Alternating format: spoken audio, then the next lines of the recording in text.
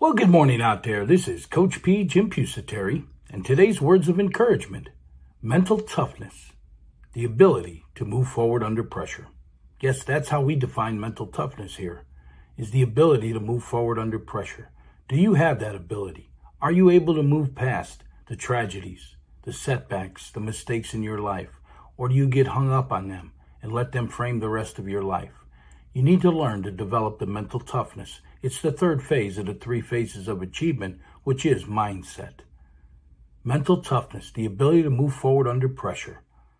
Listen to the rest of this podcast. You can find us over at inspiringthem.com forward slash blog or wherever you download your podcast. Let's have a great day. Let's move forward. And remember, we're here to help you reach your potential. So let us know. What are you struggling with?